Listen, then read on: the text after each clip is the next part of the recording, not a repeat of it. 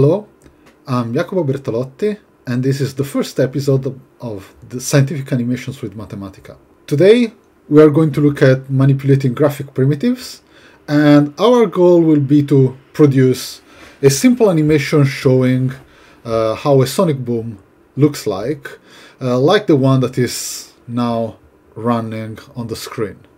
Mathematica works with cells uh, a bit like Jupyter notebooks, if you're familiar with them, which needs to be evaluated one by one. In our case, this is going to be a simple one, so we are only going to use one cell. The starting point is to draw some graphic primitives. So, to do this in Mathematica, the environment that we want to use is called graphics. In Mathematica, all functions have cap capital letter and all arguments are between square brackets. Now graphics accept a list of uh, commands and all lists in Mathematica are between curly brackets. So let's make a bit of space. The first thing that we want to draw uh, is our source. That is going to be a disk disk, we need to specify the position of the disk and its radius. If we just evaluate this, we get a disk. Now, if you don't tell anything, Mathematica will create just enough space to fit uh, the object that you are creating. What we want is to uh, make this disk in a much larger space. So let's define what is going to be the plot range of our graphic.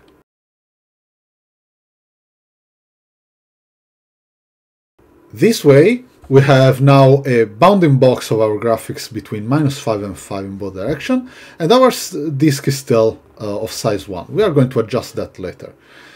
Now, we also want uh, to plot some circles around it. Same syntax. This is a list divided by comma. First plot the disk, then plot the circle. Okay. We want several circles. We are not happy with just one.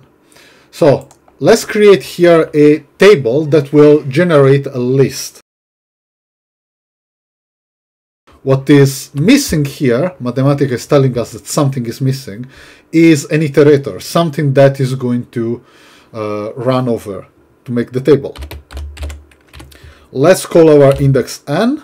That is going to go between 0 and let's say 5. Now, this is only going to produce 5 times the circle. Uh, but what if we make the radii of the circles uh, different? Okay, we are starting getting somewhere. We have a source in the middle and we have circles going around. Now, another thing that we can specify is the step of this. So let's make the circles closer to each other. And let's make our disk also smaller. Okay, this is a starting point. Now, what we would really like is for these circles to move and to expand at constant speed. So, to do that, we are going to create a table around everything here with our new variable is going to be time. Time is going to be passing between, let's say, 0 and 5 in step of 0.1. It doesn't really matter. We are going to adjust all those parameters later. Now, if we just do this, it's not going to be very interesting. We are just going to produce a bunch of the same circles. Uh, what we really want is for the radius to increase with time. But this way, all the circles are going to have the same radius. Let's say that circles with different n will have a different radius. Now this is still not enough because we also want n to be smaller than t, otherwise we're getting uh, negative radii. Now, if we do this, we get a list of all frames. Now, this is good as a list of frames, but what we want is an animation. So First thing that we are going to do is to give a name of the, to this, frames. Uh, we are going to finish everything with a semicolon that tells Mathematica not to display it, and then we are going to tell Mathematica to display these frames as an animation.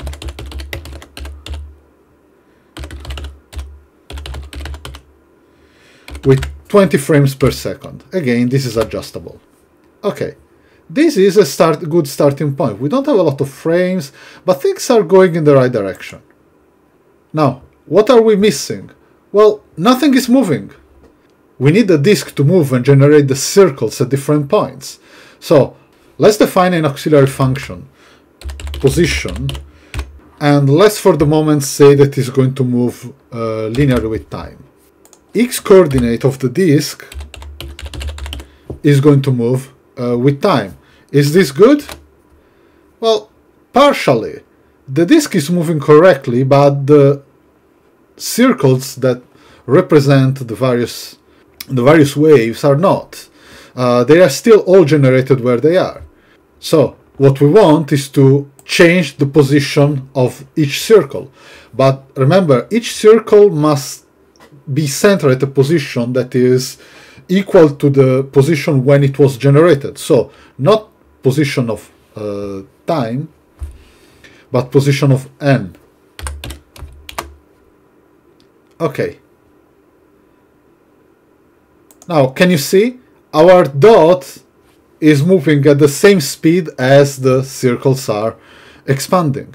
So, we need to adjust a bit our uh, parameters. Let's make this slower.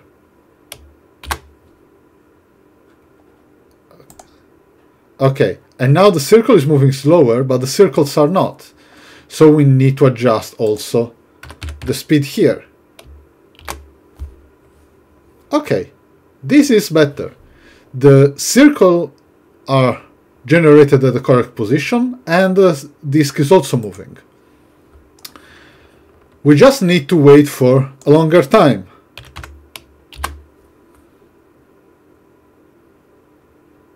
Okay,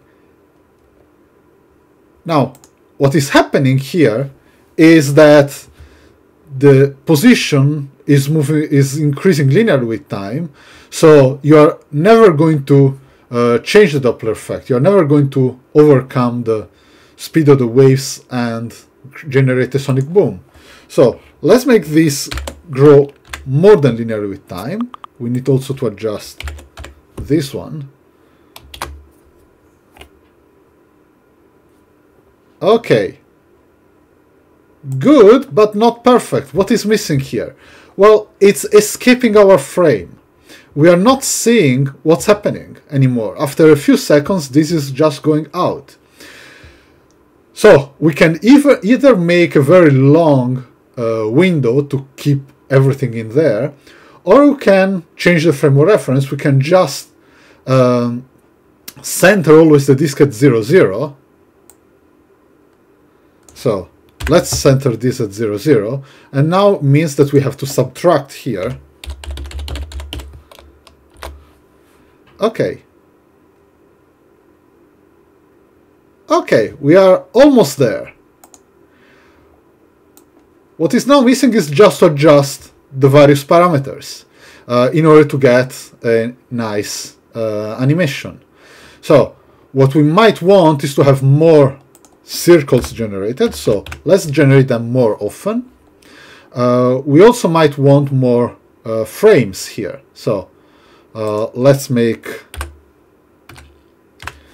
uh, twice as many frames, and let's see how it goes. Sonic Boom! And we have our first animation ready with just a few lines uh, of code and only generating uh, a disk and a bunch of circles that are going around. Thank you, and hopefully there is going to be a next time.